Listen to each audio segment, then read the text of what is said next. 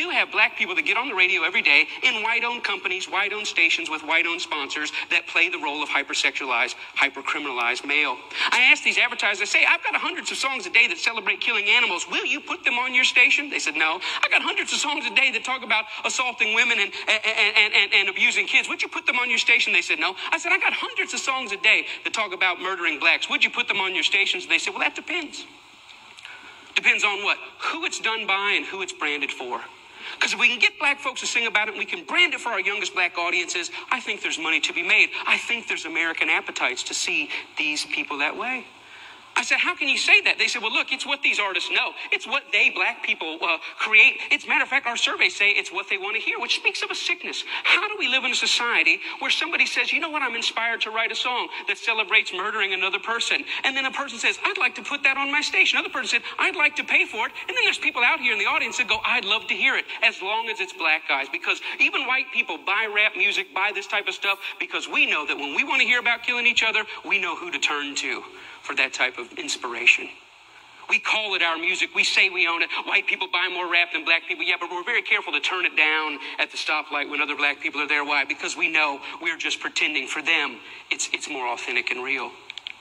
I always ask the companies, what about your name? What about your brand? What about your value? And the largest radio company in the world said this it's okay that we only have drug dealers on our black youth stations. We only have murders on our black youth stations. We support black charities. We give out water at the Martin Luther King parade. I think we've got it covered. We bought them off.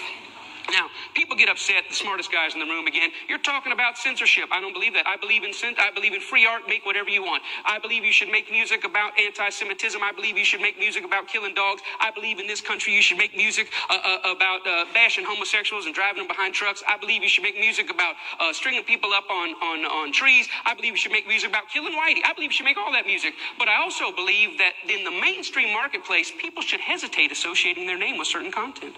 You know, there's certain stuff you can't buy at the store, certain stuff you can't get on iTunes because their brand doesn't want it. But if you want to hear black people celebrating killing black people, they got thousands and thousands and thousands of those things to sell you. I don't think it's about censorship. I think it's about American cultural hypocrisy. Because here's the truth these black entertainers, they can't sing just about anything. There's some stuff that'll get them fired, and they get dropped, and they get fired, and they get slapped on the wrist, and they get disciplined all the time. Why? Because sometimes they step over the bounds. A very famous case is what happened with Rick Ross. Rick Ross is the Mammy Two Shoes, one of the many Mammy Two Shoes of our day. He's, he's a black entertainer in a world carved out for him and a role carved out for him by white entertainment companies. And one day he talked about, in the middle of a song that celebrated dealing drugs and killing blacks, he made a reference to date rape. And when he made that reference to date rape, that set social media on fire. That got 100,000 petitions in 24 hours. Hey, buddy, date rape is no joke. That had white people standing outside of Reebok in New York saying, you better take this seriously. We're tired of a rape culture in America. One line in one song moved the masses. And you know what Reebok did? Did they stand by him and say, hey, we believe in freedom of speech. We believe in freedom of expression. It's just a song. Calm down. No, they fired his tail on the spot. The president came out and said, This goes against our high standards. He's gone against the values of our brand. Shame on Rick Ross. We're disappointed. He doesn't know how serious date rape is. And when I saw that, I thought, wow, how convenient. Isn't that amazing? But here's what really happened it's not their brand, it's not their values. Rick Ross went off script.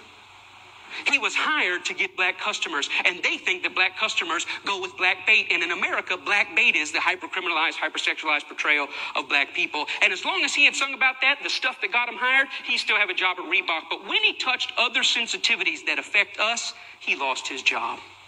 See, the truth is, it's not they that need to change. It's we that need to change.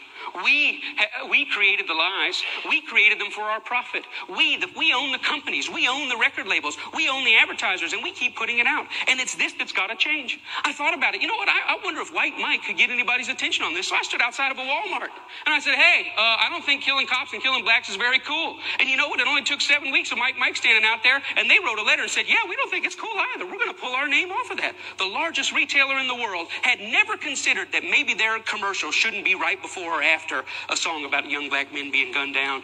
And I realized this that black murder is normal, but it should not be.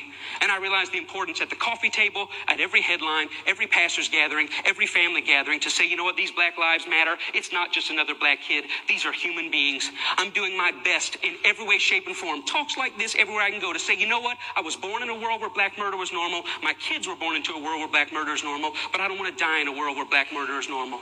Am I five years or ten years away? I don't know, but I'm screaming as high as I can. Let's feel this pain and let's lift our voice to tell the lies. They are not criminals, they are not deviants, and their lives are just as important as ours. Thank you very much.